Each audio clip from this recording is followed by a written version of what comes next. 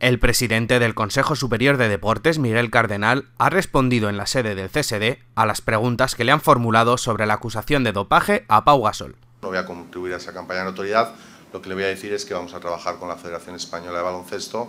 para que eh, ocurra lo que tiene que pasar, que es que cuando alguien actúa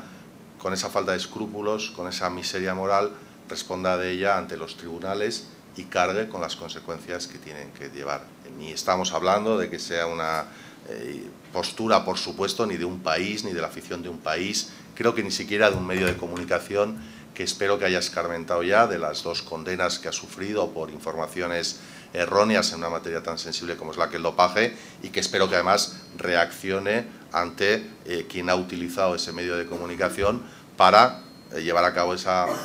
campaña tan detestable de autopromoción personal. Que no solo es el prestigio de,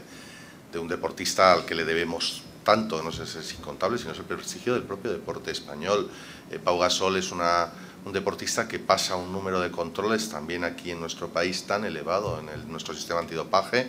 eh, que, es, inconcebible pensar que eh, pudiera eh, haber algún atisbo ni siquiera eh, mínimamente fundado para poder de lejos pensar nada.